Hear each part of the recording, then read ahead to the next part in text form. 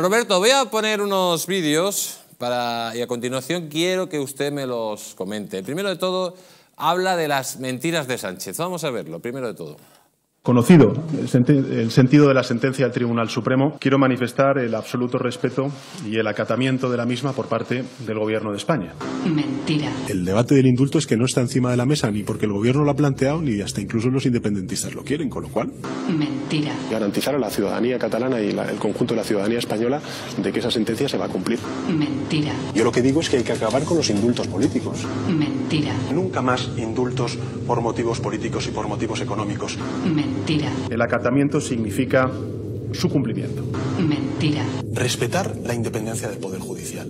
Mentira. Nuestra propuesta de modificar la ley del indulto para exigir la motivación de su concesión y para excluir de su ámbito los delitos cometidos, señorías, por cargos públicos, aprovechando en beneficio propio el ejercicio de sus responsabilidades. Mentira. Y le digo a los líderes independentistas que nunca significa nunca. Mentira. ¿Qué sentido tiene que un político indulte a otro? Ninguno. Absolutamente ninguno. Y yo siento vergüenza de eso. Mentira. Propondré al Consejo de Ministros conceder el indulto a los nueve condenados en el juicio del proceso, que hoy están en prisión. Pues ahí tenemos amigos como un mentiroso traidor, pero todo el mundo nos preguntamos, don Roberto, usted también se preguntará, ¿por qué Pedro Sánchez todavía tiene tantas personas que le vota. Y yo le voy a dar la respuesta. A continuación le voy a poner el vídeo y usted va a entender por qué hay tanta gente en España que vota a Pedro Sánchez. Escuchen ese testimonio que es único. En Andalucía gobierna el partido, ha gobernado 37 años el Partido Socialista, un partido muy corrupto, ¿no? Ha robado 680 millones de euros. ¿Usted le sigue votando? Yo no, yo sigo votando siempre al PSOE. Aunque le roben. Aunque le roben. ¿Por qué?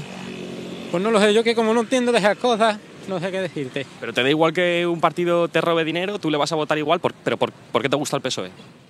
No sé, yo qué sé, es que la alcaldesa de mi pueblo es, del PSOE. Bueno, pues nada, pues muchas gracias. Don Roberto, hemos dado la tecla. Usted que se preguntaba cómo Pedro Sánchez tenía esos resultados electorales, pues tiene que haber aproximadamente 7 millones de personas más o menos parecidas a este señor. Don Roberto. Sí, sí, sí. Bueno, efectivamente, esto es bastante obvio, pero eh, hay que decir eh, una cosa. Eh, hubo un cambio esencial durante el gobierno del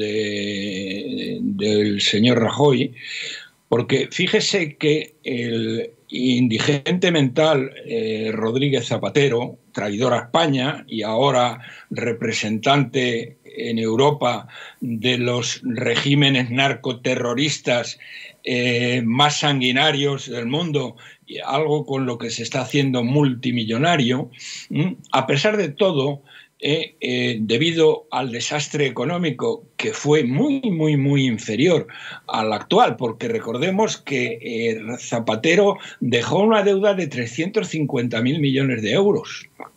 Y este canalla que tenemos ahora ¿eh? la semana pasada, ¿eh? la semana pasada, ¿eh? bueno, esa misma deuda estaba en 1,5 billones y cuando lo deje, si es que lo deja, ni se sabe. Pero, ¿qué fue lo que hizo el señor Rajoy y su indigna indigna mm, vicepresidenta económica. Bueno, le dio todo el poder mediático a la izquierda. Es decir, en un momento determinado en que eh, eh, concretamente me voy a referir a, los dos, a dos de, los más importantes. Uno, la sexta, estaba quebrada. Otro, el país, que estaba quebrado. Bien, los podían haber dejado quebrar. Y el señor Rajoy y la señora vicepresidenta decidieron ¿eh? Eh, hablando con los bancos y dándoles las ayudas correspondientes a dejarlos vivos con la idea, con la idea de, mm, impulsar a Podemos eh, para que Podemos le quitara votos. Bueno, entonces ahora estamos en una situación económica y, bueno, quiero decir, eh, Mariano mm, ganó por una mayoría absoluta, arrasó en el Estado, en las autonomías y en los ayuntamientos. Bien, ahora la situación económica es infinitamente peor. España es el país que más se está empobreciendo de todo el mundo occidental. Y este año que viene ya ni les cuento. ¿eh? Bien, y sin embargo, sin embargo, no hay una mm, clara victoria eh, por parte del Partido Popular como la hubo en la época de Rajoy. ¿A qué es esto debido? Pues simplemente que estos tíos eh, tienen todos los grandes medios de comunicación en su mano. Aparte de que también es más listo, mm, aunque ya no estoy tan seguro viendo cómo se está haciendo multimillonario, pero eh, no, políticamente es más listo que, Zapatero y eh, está mm, consiguiendo el control de cosas que Zapatero podía haber conseguido, pero no lo consiguió. ¿eh? Entonces, esto, mm, esto es, y, luego, y, en definitiva, en definitiva, porque la eh, Rajoy prometió bajar impuestos, prometió acabar con todas las leyes liberticidas, empezando por la ley de memoria histórica, eh, eh, por ilegalizar a Bildu, etcétera, etcétera, y nada de eso lo está haciendo el señor, el señor Feijó eh, con oposición. Es decir, es una oposición...